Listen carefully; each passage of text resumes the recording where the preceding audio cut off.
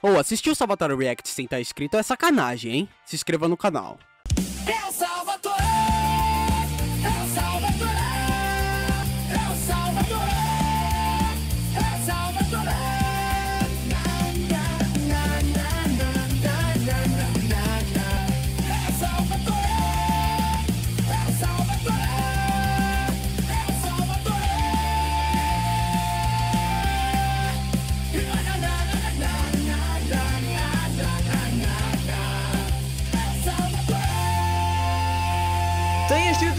Chamado Mundo Torajo, este canal aqui chamado Mundo Torajo, que muita gente diz que tem uma lore parecida com a lore salvatoriana. Eu não sei porque é que vocês acham isto. Este cara criou uma história para o canal dele. Vamos ver aqui a história do canal dele, não é? Revelando o mistério do Morajo. Ele é o Torajo, mas agora tem o personagem chamado Morajo. Pediram para reagir a, a, esta história e a estes vídeos porque disseram que tem algumas parecenças com a história aqui do Salvatore React. Eu não vou ser chato durante o React e ficar falando, ah, no meu canal também tem uma coisa parecida. Então o que eu vou fazer é reagir ao vídeo de boa e no fim do vídeo eu falo se achei parecido com a história salvatoriana ou não e uh, explico algumas coisas da história salvatoriana não tem um vídeo sobre a história salvatoriana, tem uma tier list que deixa algumas, algumas dicas e tudo mais. Vamos ver primeiro a história do mundo do Torajo? E no fim eu falo se achei parecido ou não, tá ok? Mas muito legal ver youtubers criando histórias uh, nos seus canais. Tá? Acho que está criando uma nova onda. Muito youtuber está fazendo isso. E eu acho muito legal porque tira aquela seca, aquela coisa de ah, é sempre o mesmo, tá ligado? E, portanto, vamos lá. Oi.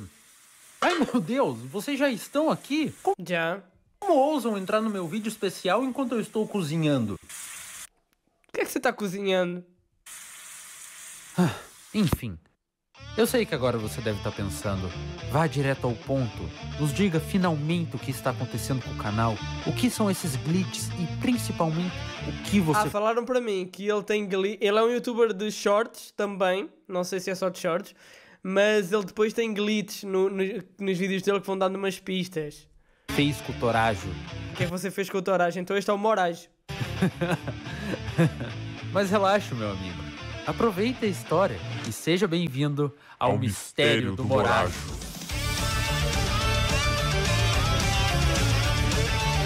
Legal.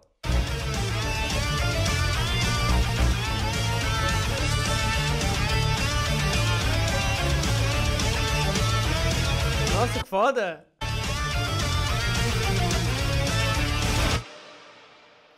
Escrito por Torajo e Libélulas.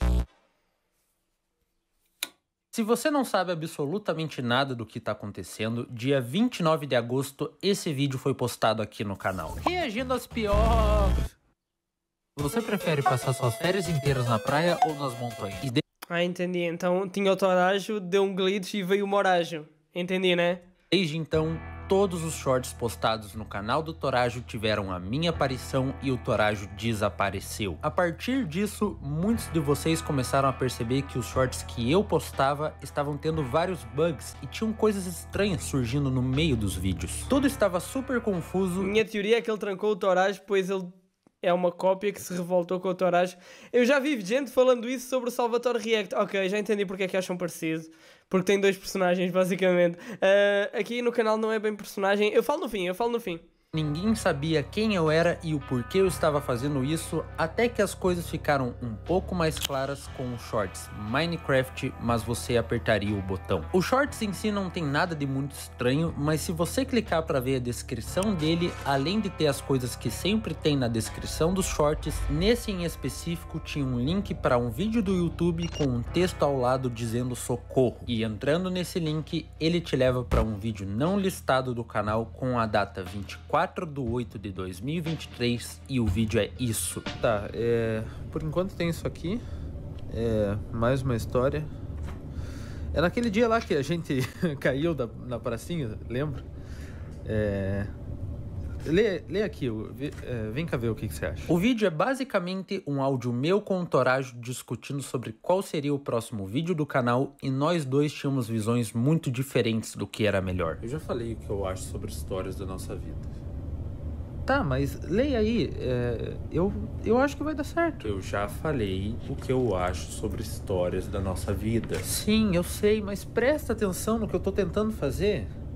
É sempre assim. Você pega e fala que o que eu tô fazendo não é bom o suficiente, que a gente devia estar tá fazendo conteúdo para atingir mais pessoas, para ter mais visualização no canal, mas não é exatamente isso que eu quero fazer. Eu já te falei, eu quero criar algo mais sólido. Você quer É preciso, é preciso. Criar algo mais sólido pra quem, Torajo? Ninguém se importa contigo. Temos aqui uma conversa do Torajo e do Morajo, né? Eu sempre acreditei que para crescer um canal no YouTube, você tem que fazer os vídeos mais interessantes e com a maior quantidade de coisas acontecendo. Já o Torajo sempre acreditou que o melhor era fazer um conteúdo que ele pudesse se conectar com o seu público e ter eles ao redor apoiando o canal independente dos vídeos que ele fizesse. Ah. É parecido mesmo, é parecido mesmo, mas eu falo no fim. E bom, nós já percebemos Mas tem algumas diferenças também. como esse pensamento pequeno dele não levou ele muito longe. Mas este cara é muito melhor que eu, porque ele é um animador e posso fazer as animações e tudo mais. A minha história é uma história que está contada muito pela boca, não é? Quem, quem vê as minhas lives sabe a história do Salvatore React. Quem viu o vídeo deste airlist tem uma ideia, mas não existe um vídeo que explique realmente. Um dia eu faço, mas eu pretendo que seja o último vídeo do canal. Portanto, assim, vocês não querem, né? No dia em que eu parar de fazer o Salvatore React, o último vídeo vai ser a história salvatoriana. E aí eu paro de fazer vídeo. Portanto, ainda vai demorar um pouquinho. Mas eu já falo.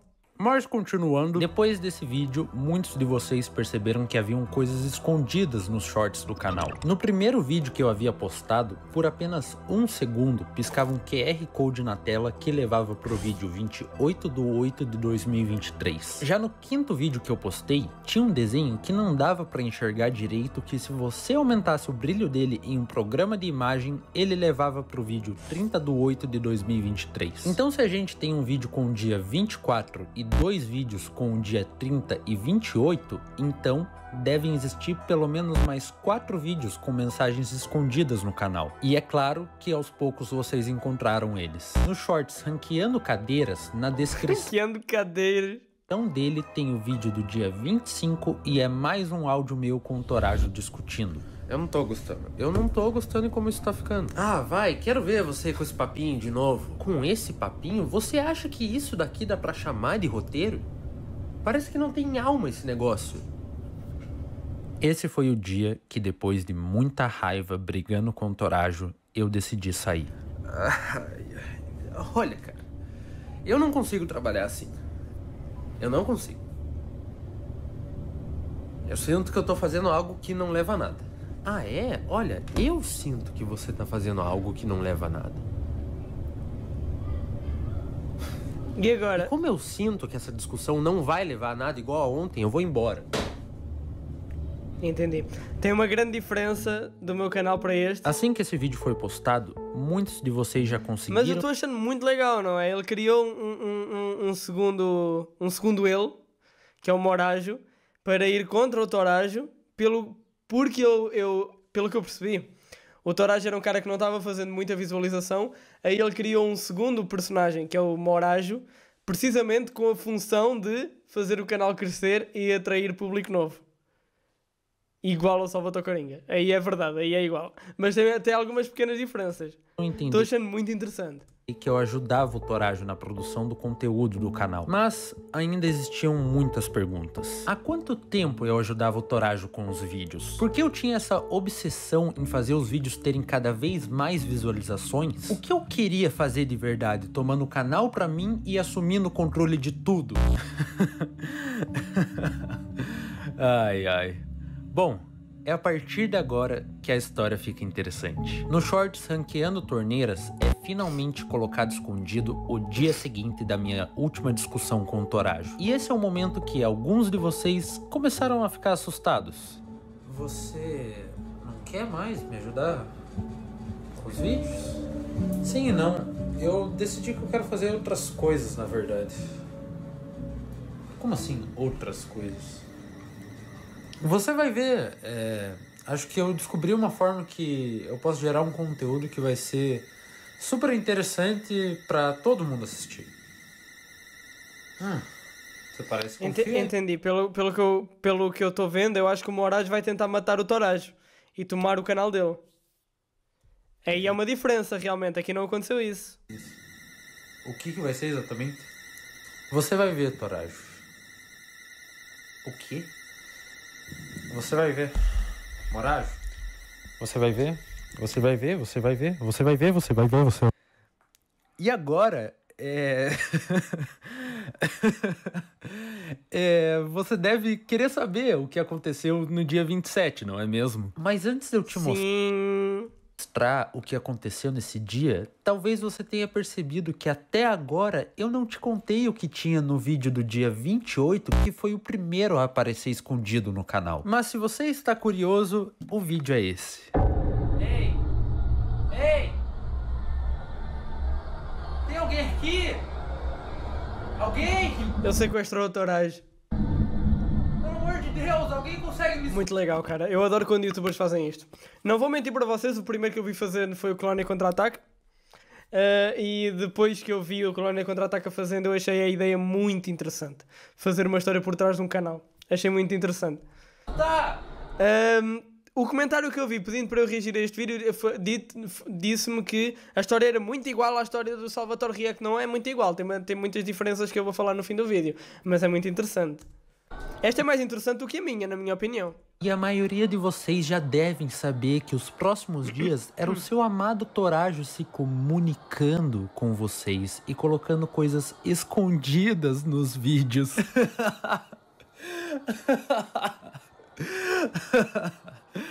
ai, ai. Esse é o momento que você passou as últimas semanas esperando. Você que ficou buscando Eu nem conheço você, mas eu estou amando. Buscando e tentando entender o que estava acontecendo no canal e onde estava o apresentador medíocre de todos os outros vídeos postados. Aqui está, você vai finalmente saber. A Esse diferença é que ele fez o Moraes um, um vilão, né? é o lugar que esteve por todo esse tempo o seu querido youtuber de animação. Tem, tem o nariz todo cheio de- peles. Esse é o lugar que Deixa eu voltar aqui para trás, estava vendo uma coisa no, no nariz. esteve por todo esse Porque eu- tempo. eu estou com feridas no nariz, gente. Aqui está, você vai finalmente saber. Esse é o lugar que esteve por todo esse tempo o seu querido youtuber de animação. Caralho! Viram, pessoal? Esse é o lugar ao qual o Torajo esteve hackeando os shorts que eu postava e colocando coisas para vocês se comunicarem com ele. Então, se ainda não ficou claro, todos os links escondidos, todos os glitches que aconteceram nos shorts, todas as imagens, todos os áudios que foram gravados e todos os pedidos de socorro que o Torajo disse: "Ah, eu vou dar um jeito de me comunicar com vocês". ai, ai. Tudo, isso foi pensado por mim. E é Que claro foda! Que você, assustado, está se perguntando o porquê eu fiz tudo isso, mas vocês não vão entender porque vocês não se importam. Vocês não se importam de verdade com o que está acontecendo com o Torajo e se ele está sofrendo nesse momento. Vocês todos são pessoas que querem ser entretidas o máximo possível dentro desse site e não ligam se o criador de conteúdo por trás de tudo isso está sofrendo ou não. Eu Cara, isso é muito verdade, mano. É muito verdade. E até por isso é que eu queria o Salvatore Corinho. É, é muito verdade, mano. Mais vale ver pôr uma máscara na cara e foda-se, porque realmente o público não- às vezes parece que não se importa com a, a pessoa mesmo. Tive que fazer tudo isso para provar pro Torajo que ele não pode criar uma audiência com um público que realmente ligue para quem ele seja, porque isso não existe e nunca existiu na internet. Então me diga agora, espectador, você não está feliz com o show de horror que está vendo na sua frente? O quanto assistir a história desse personagem verde perdendo o poder do seu próprio canal na frente de todo mundo não é prazeroso? Eu sei muito bem o quanto você está gostando, porque é por isso que você ainda está aqui. Você não quer deixar de assistir o final infeliz que tudo isso leva. Então agora, venha comigo ver isso. E vamos ver juntos, ver como Torajo irá reagir depois de ver o quanto o canal cresceu durante esse tempo que ele esteve fora. Vamos juntos entrar no quarto e mostrar para ele como fomos capazes de trazer pessoas novas para nos assistirem, fazendo um conteúdo que não traz nada pessoal. Pois no final de tudo isso, o que realmente importa é que a nossa história foi contar. Mano, eu achei muito foda. Eu achei muito foda. Eu entendi quando vocês disseram que tem parecenças, mas também tem muita coisa diferente. Tem muita coisa diferente. Uh, primeiro, ele criou. Ele, ele, ele é o Torajo e criou o Morajo para fazer com que o público cresça uh, e apenas com esse foco. Isso realmente é parecido com a essência Salvatore Coringa. Eu agora vou sair um pouco do Salvatore Coringa e falar como Ricardo para vocês.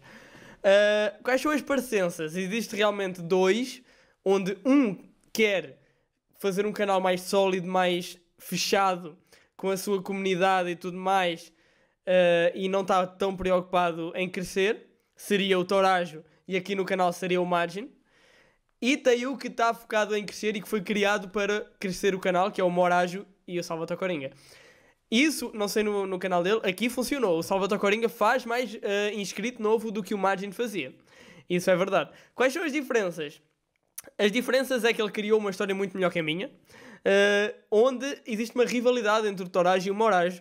Aqui no Salvatore React o que existe mais é uma espécie de monarquia, onde quando uma skin sai, entra outra pacificamente. Portanto, o Magin, quando saiu, ele saiu pacificamente. Eh, apesar de eu ter dito que ele foi para um hospício, mas ele foi porque ele quis, não é? Uh, e ele pode voltar quando ele quiser, quando o original achar necessidade. Uh, o original é a grande diferença das duas histórias. Aqui no Salvatore React existe o original. Quem é o original? É o Ricardo. Não é o Salvatore Coringa, mas é o Ricardo. Que decide qual skin é que vai gravar e qual skin é que não vai gravar. E o Ricardo decidiu que o Margin só vai gravar quando for polémicas e o Coringa vai ser o protagonista do Salvatore React. Uh, e também decidiu dividir a personalidade em dois. Portanto, o Margin é, é, é 100% a parte séria do Ricardo e o Salvatore Coringa é 50% da parte zoeira é 100% da parte zoeira do Ricardo. Se você juntar Margin e Coringa, você tem o Ricardo original, que é ele quem decide as coisas aqui no canal. Até por isso é quando o Margin dá a sua opinião, ele dá de uma forma muito mais grossa. Porquê? Porque ele não tem a bondade do Salvatore Coringa. E o Salvatore Coringa é mais fofo, mais uh, brincalhão, mais zoeiro, porque ele não tem a seriedade do Margin.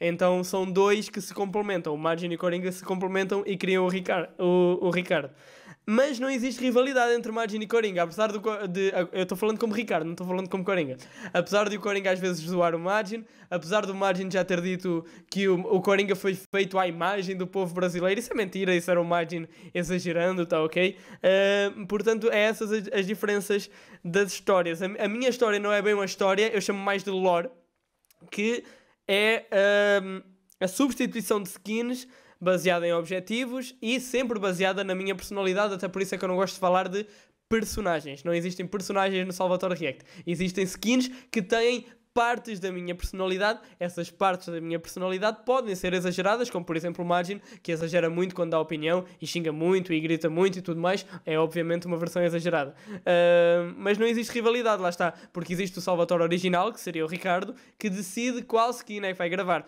Portanto, podemos dizer que hum, a história de, deste cara aqui é uma história muito mais de Torage e Morage tentando discutir quem vai de, dominar o canal, não é?